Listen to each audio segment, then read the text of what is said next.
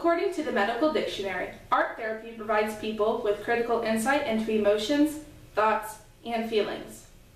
Art is a way of getting your mind off of things, whether it is painting or simply drawing a picture with a pencil and paper. Melted crayon art is a fun, creative, and a relaxing activity to do. Today I will be showing you the supplies that you will need, how to set up your area and color scheme, and how to make designs with your artwork. Although there are a lot of steps involved in the process, melted crayon art is well worth the time spent making it. Supplies that you will need. Any size canvas will work. The canvas will be used for the crayons to be melted on, like so. Painter's tape and a marker for designs, a box of crayons, and the size of your canvas depends on how many crayons you need. If your canvas is big, you will need quite a few crayons. If your canvas is small, you will not need as many crayons. Also, depending on the color scheme you wish to have depends on how many crayons you need of that color scheme. You'll need a hot glue gun and extra glue sticks to glue down the crayons that we will need. Lastly, you'll need a hair dryer to melt the crayons. Now that I have listed all of the supplies needed, it is time to prepare the canvas. Preparation.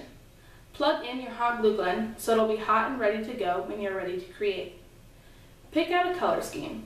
If you like lighter colors like pink, pastels, or yellows, then, there, then these can be used for the light color scheme. If you like darker colors like blues, greens, and purples, these can be used for a dark color scheme. If you're like me and you like every color, you can use every rainbow color. Lay out your crayons on the canvas without gluing them down. According to your color scheme, this will help you get the general idea of where you want your crayons to be placed and will also help you with le less accidents later on. Put trash bags down, newspapers, or anything else to protect your surroundings from getting crayon on them. I recommend the person who is helping you and yourself to wear older clothes so they will not get ruined. Having someone else help you is a good idea. I had my sister hold a piece of paper around the canvas to catch the crayon wax from getting on anything. Once the heat hits the crayons, the wax splatters everywhere uncontrollably. In other words, the canvas is ready and my surroundings are protected. Making designs.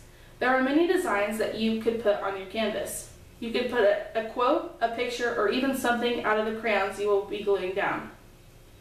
If you want a design, cover up the designated area with paper and tape it down with painter's tape. Putting down the paper where you want your design protects this area from getting crayon wax on it and ruining it.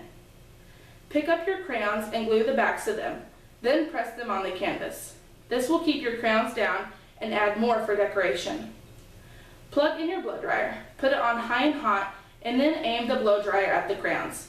Aiming the blow dryer at a downward angle will help the crayon wax melt downwards.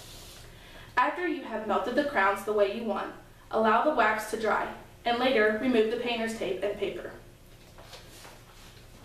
This is what you'll do. You'll take your canvas, your blank canvas, you'll take a box of your crayons and lay them out the way that you want. You'll then take your glue gun that is plugged in and hot and ready, and you'll glue the back of the crayon down and put it across here. If you have a different size canvas, then it's obviously going to be looking different. Once the glue is dry on your canvas, you'll then take your blow dryer and blow the crayon Blow at the crayons and then the wax will melt downwards. And that's how you have your masterpiece. Spe this speech has not only provided you with a general idea, but also with a step-by-step -step process. Supplies were listed, preparation was provided, and an option for designs was given. Melted crayon art is a fun, creative, and relaxing activity to do. The outcome of your artwork could be used as a gift or for decoration anywhere. Melted crown art can be made with friends and family and is an easy way to get your mind off of things. Thank you.